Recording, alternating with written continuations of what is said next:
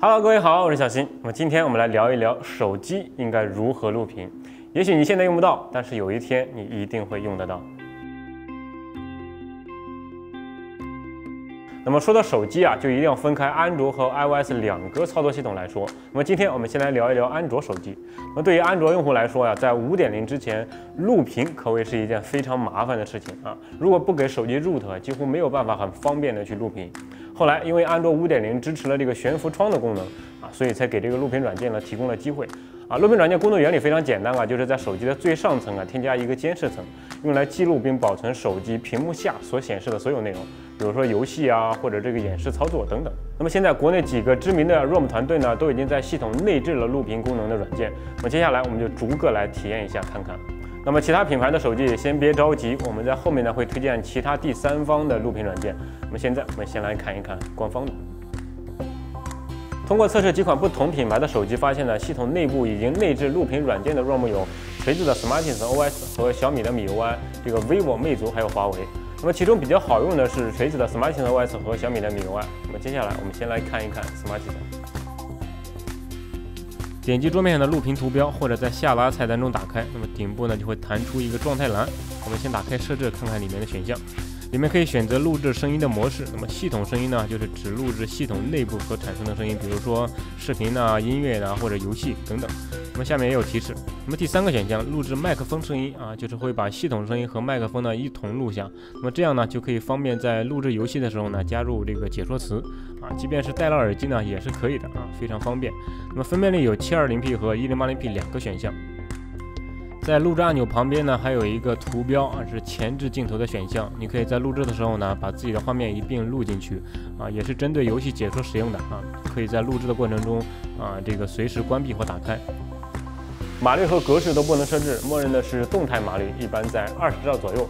那这个呢，其实是挺高的。我们在网络上分享，一般四兆就足够了。格式呢是 MP4，帧率是六十帧，缺少了设置选项，让操作呢变得非常简单。但是呢，难免会让人感觉有些不够人性化。最后还有一个值得一提的功能，就是这个录制完成以后啊，可以截取其中一部分，然后生成 GIF。那么这个小功能还是值得点赞的。啊，缺点呢就是这个状态栏会一直显示，而且无法下拉呼出这个通知栏。由于这个状态栏区域比较大，所以也会遮挡一部分这个显示的画面。但是呢，好在这个功能比较丰富啊，软件层面解决咱们刚才说的这两个缺点呢，也不是什么大难事儿。所以呢，期待下次更新的时候能有改进吧。小米的米 UI 目前只有开发版增加了屏幕录制的功能啊，稳定版可能需要再等一等了。这个打开系统工具文件夹，滑到底呢就可以看到屏幕录制的图标。在设置选项中可以自定义调整参数，那么基本的功能呢也都有。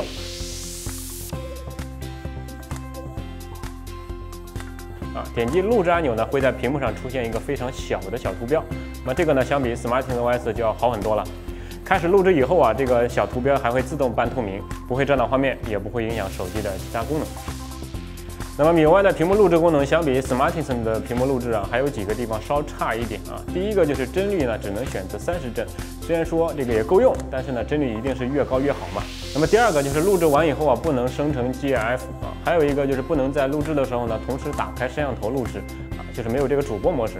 最后还有一个是录音的问题，呃，米 UI 的这个呢，只能分开选择麦克风或者扬声器。那么扬声器的意思就是系统内部产生的声音啊，前面也有说过。啊，如果你需要录制的时候加入旁白解说啊，这个可以选择麦克风的模式。那么这个时候呢，游戏的声音是通过扬声器传出来，然后呢再通过这个麦克风录进去啊，等于翻录的意思，所以呢效果就会差很多。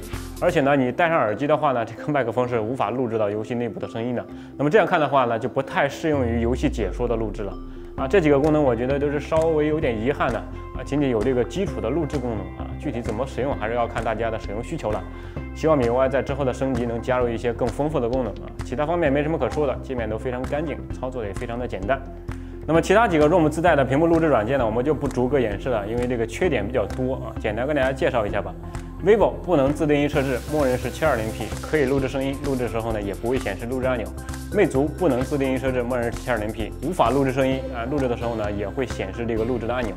华为不能自定义设置，默认还是 720P，可以录制声音，但是呢录制屏幕只能录五分钟啊，这个录制的时候也会显示屏幕按钮，这个非常的不好用。如果你现在用的不是前面所提到的这几个操作系统呢，也不用担心啊，只要你的安卓系统是五点零以上啊，就可以下载第三方的录屏软件，比如说一录屏、豌豆荚录屏、录屏能手、这个录屏大师、萌兔录屏等等啊，都是可以用的。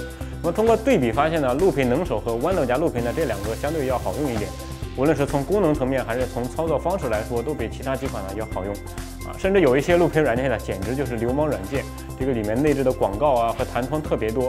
比如说这个小鹿录屏，这里面的弹窗和广告呢，就别提有多烦了啊，就不推荐大家去下载了。如果要用的话呢，这个录屏能手和这个豌豆荚录屏就足够了。如果你还有其他第三方比较好用的录屏软件，可以在这期节目的微博下留言，或者呢在 B 站的弹幕上跟大家分享。好了，安卓版的录屏软件呢，今天就聊到这儿，我们下一期再聊一聊 iOS 应该如何方便的录屏。我们下期再见，拜拜。